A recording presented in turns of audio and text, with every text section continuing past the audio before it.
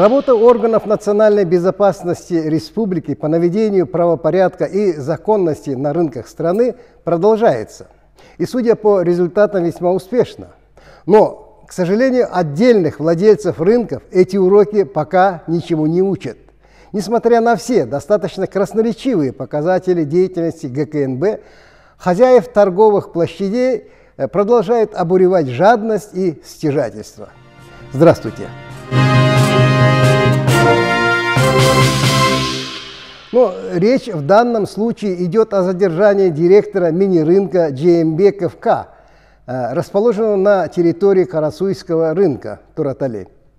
Так, сотрудниками ГКНБ э, в рамках возбужденного уголовного дела выявлены факты систематического незаконного сбора денежных средств с предпринимателей, осуществляющих оптовую и розничную торговлю на территории Карасуйского рынка Туратале, сообщает ведомство. В частности, директор индивидуального предприятия ЖКШ, используя свое служебное положение, путем угрозы сноса контейнера ежегодно незаконно требовала с арендаторов денежные средства от 5 до 10 тысяч долларов США за заключение продления договора аренды – Арендаторы, в свою очередь, опасаясь лишиться своей торговой точки, э, были вынуждены передавать ей требуемую сумму. Не далее, как три дня назад, 24 января текущего года, в ходе следственно-оперативных мероприятий после передачи незаконно требуемой суммы в размере 5000 долларов США директор индивидуального предприятия ЖКШ была задержана и водворена в ИВС СИЗО ГКНБ. При проведении обыска по месту ее жительства были обнаружены и изъяты денежные средства 135 э, 600 долларов США и 1 миллион 113 тысяч 800 сомов в национальной валюте, а также золотые ювелирные изделия, серьги, кольца, цепочки, золотые слитки Национального банка Кыргызской республики 999 э, пробы – в количестве 10 штук, общим весом в 1 килограмм. Ну и автомашина марки Range Rover 2017 года выпуска. В интернете также появились фотоснимки особняка, принадлежащего директору рынка. Особняк очень похож на средневековый замок с привидениями, я бы сказал. Безмерная жадность, жажда наживы, верные спутники коррупции, очевидно, напрочь отключают мыслить, э, мыслительные способности человека, человека, ступившего на эту скользкую тропу. Вымогательство и незаконные поборы путем, э, путем простейшего и достаточно грубого шантажа и выкручивания рук, если так можно сказать, несомненно дают коррупционеру, ну, в данном случае владельцу мини-рынка, сиюминутную выгоду – в виде серьезных денежных поступлений. Но обладатель этих нечестным путем полученных денег, к сожалению, не понимает, насколько призрачно это благополучие, насколько эфемерно это счастье быть владельцем преступного материального блага. Между тем, ГКНБ Кыргызской Республики продолжает работу по выявлению и недопущению незаконных поборов субъектов предпринимательства –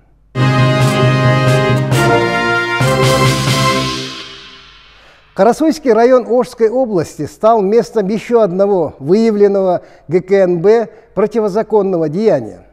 Так, органами безопасности пресечена деятельность подпольного завода по производству и реализации табачных изделий без акцизных марок.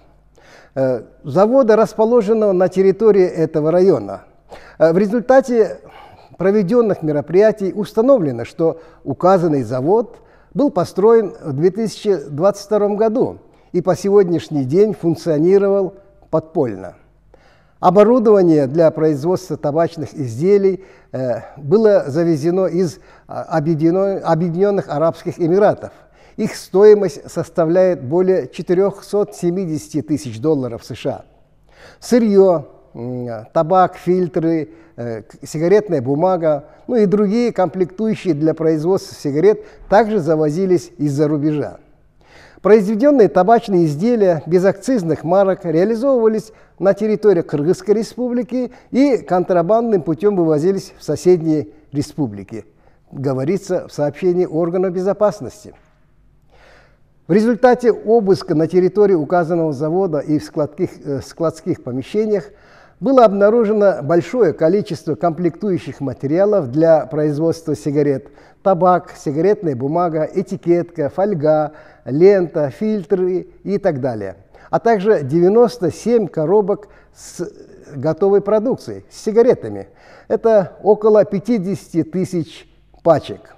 Но все они были без акцизных марок под брендом Marlboro, Platinum, Азия, Blue Sky, ну и другие. Иностранный гражданин, по предварительным данным, являющийся одним из организаторов выявленного подпольного производства и канала сбыта незаконной продукции, задержан и водворен в СИЗО ГКНБ. В настоящее время проводятся оперативно-следственные мероприятия по установлению других лиц, причастных к данному уголовному делу.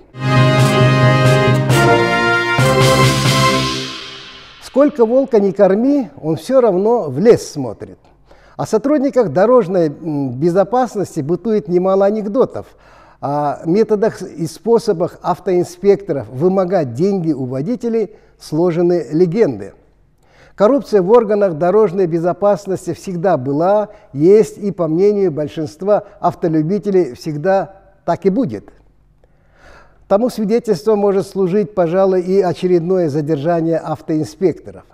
Так, представителями спецслужб при получении взятки задержаны сотрудники отдела безопасности дорожного движения УВД Баткенской области – Сотрудниками ГКНБ Кыргызской Республики в ходе организации и проведения соответствующих мероприятий выявлена устойчивая коррупционная схема в рамках деятельности ответственных сотрудников отдела безопасности дорожного движения УВД Баткенской области, которые, используя свое должностное положение, систематически занимались поборами денежных средств с водителей автотранспорта, в том числе с водителей, нарушивших ПДД, за несоставление административных протоколов и неналожение административных штрафов.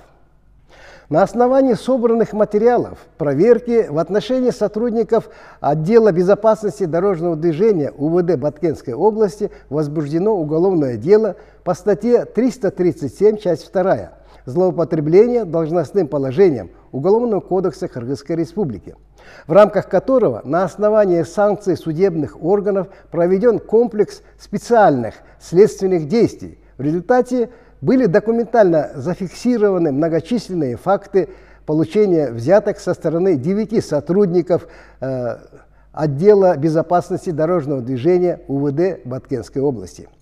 Более того, 24 января текущего года на участке автодороги Баткен-Разаков в селе Кокташ Баткенского района при очередном незаконном получении денежных средств с поличным были задержаны сотрудники ОБДД Баткенской области, старшина милиции ТАК и инспектор ИБ. Надо сказать, что руководством страны проводится политика стимулирования деятельности работников правоохранительного и силового блока, которые несут свою службу на приграничных территориях Баткенской области.